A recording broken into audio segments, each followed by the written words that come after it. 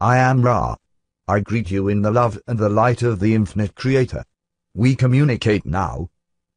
Question 19.1. Questioner, we are concerned in this communication with the evolution of mind, body and spirit. It seems to me that a good place to start would be the transition from the second to the third density, then to investigate in detail the evolution of third density entities of Earth, paying particular attention to the mechanisms which help or hinder that evolution.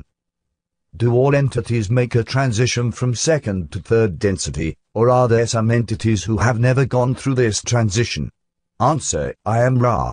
Your question presumes the space-time continuum understandings of the intelligent energy which animates your illusion. Within the context of this illusion we may say that there are some that do not transfer from one particular density to another, for the continuum is finite. In the understanding which we have of the universe or creation as one infinite being, its heart beating as alive in its own intelligent energy, it merely is one beat of the heart of this intelligence from creation to creation. In this context each and every entity of consciousness has his will experienced experiencing experience each and every density. Question 19.2. Questioner, let's take the point at which an individualized entity of second density is ready for transition to third. Is this second density being what we would call animal? Answer, I am Ra. There are three types of second density entities which become, shall we say, unspirited. The first is the animal. This is the most predominant. The second is the vegetable, most especially that which you call sound vibration complex, tree. These entities are capable of giving and receiving enough love to become individualized. The third is mineral. Occasionally a certain location place, as you may call it, becomes energized to individuality through the love it receives and gives in relationship to a third density entity which is in relationship to it. This is the least common transition. Question 19.3. Questioner, when this transition from second to third density takes place, how does the entity, whether it be animal, vegetable, tree, or mineral, become inspirited? Answer, I am Ra. Entities do not become inspirited. They become aware of the intelligent energy within each portion, cell, or atom, as you may call it, of its beingness. This awareness is that which is awareness of that already given. From the infinite come all densities. The self-awareness comes from within given the catalyst of certain experiences understanding, as we may call this particular energy, the upward spiraling of the cell or atom or consciousness. You may then see that there is an inevitable pull toward the, what you may call, eventual realization of self. Question 19.4 Questioner, then after the transition into the third density, am I correct in assuming, we'll take Earth as an example, the entities would then look like us? They would be in human form. Is this correct? Answer, I am Ra. This is correct, taking your planetary sphere as an example.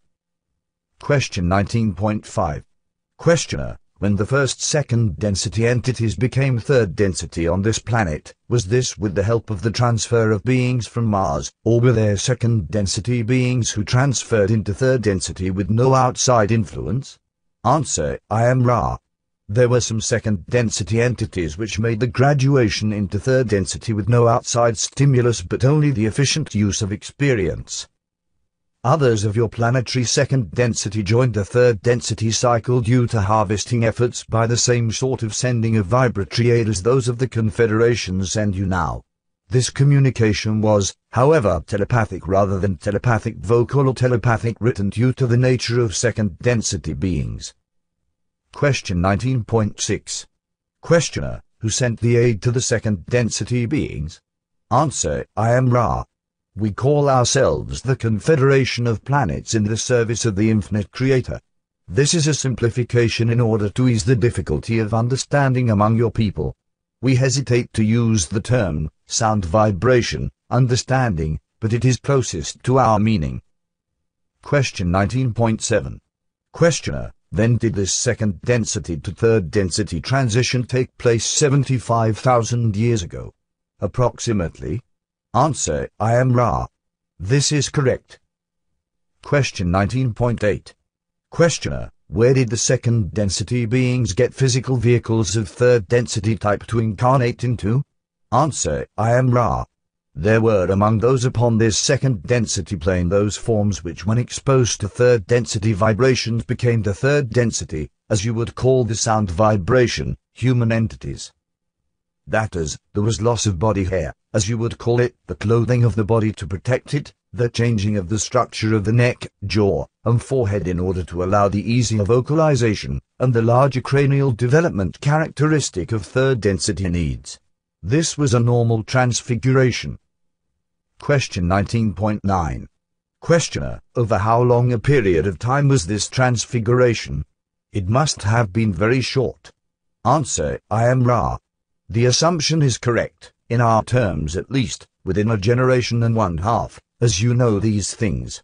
Those who had been harvested of this planet were able to use the newly created physical complex of chemical elements suitable for third density lessons. Question 19.10 Questioner, can you tell me how this newly created physical complex was suited to third density lessons and what those lessons were? Answer, I am Ra. There is one necessity for third density. That necessity is self-awareness, or self-consciousness.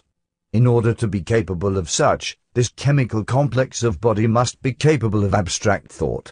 Thus, the fundamental necessity is the combination of rational and intuitive thinking. This was transitory in the second density forms operating largely upon intuition which proved through practice to yield results.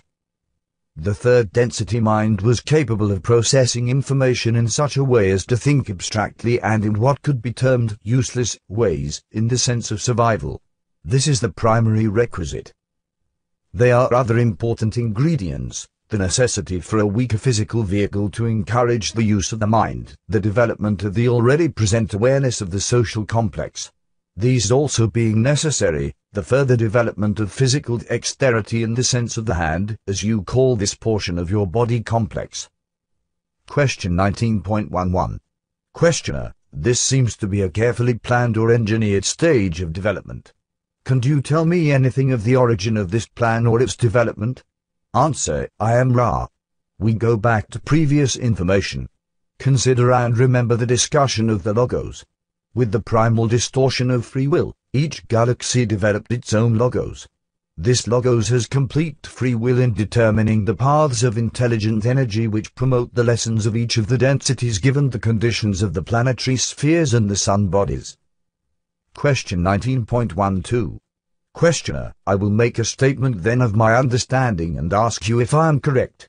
There is a, what I would call, physical catalyst operating at all times upon the entities in third density. I assume this operates approximately the same way in second density. It is a catalyst which acts through what we call pain and emotion is the primary reason for the weakening of the physical body and the elimination of body hair, etc. so that this catalyst would act more strongly upon the mind and therefore create the evolutionary process. Answer, I am Ra. This is not entirely correct, although closely associated with the distortions of our understanding. Consider, if you will, the tree for instance. It is self-sufficient. Consider, if you will, the third density entity. It is self-sufficient only through difficulty and deprivation. It is difficult to learn alone for there is a built-in handicap, at once the great virtue and the great handicap of third density. That is the rational intuitive mind.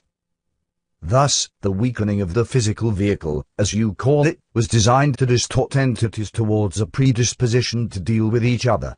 Thus, the lessons which approach a knowing of love can be begun. This catalyst then is shared between peoples as an important part of each self's development as well as the experiences of the self in solitude and the synthesis of all experience through meditation. The quickest way to learn is to deal with other selves.